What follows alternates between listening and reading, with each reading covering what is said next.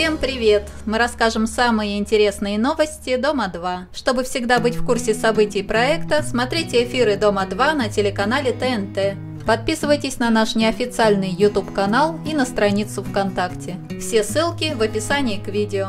Мама Димы Дмитренко Людмила Григорьевна обижена на Ольгу Рапунцель. Девушка постоянно напоминает о том, что она не родная мама Димы, а его тетя.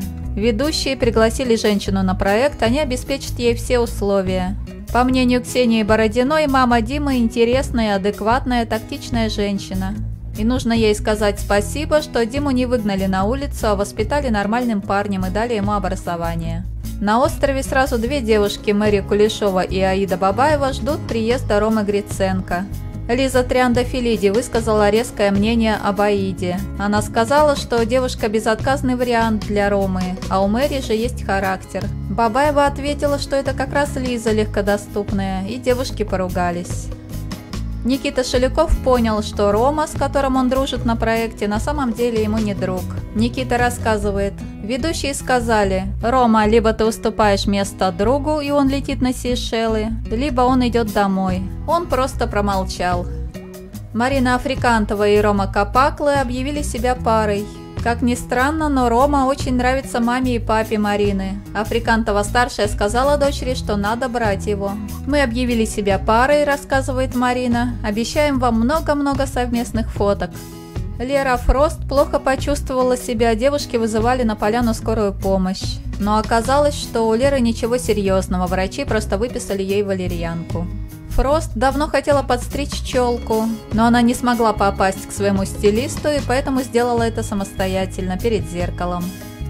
Валера Блеменкранц рассказала о том, что они вернутся таки на проект после окончания конкурса «Любовь года». Это произойдет осенью.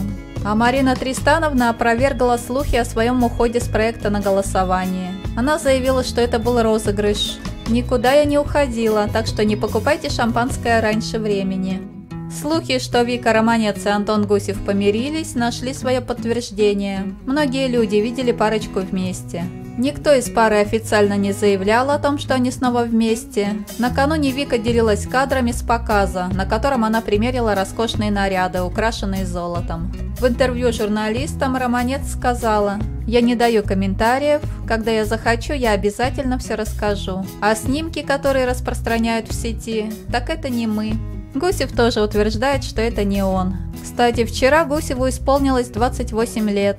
Он говорил, что не будет праздновать, а собирается провести этот день вдвоем с сыном Даниэлем.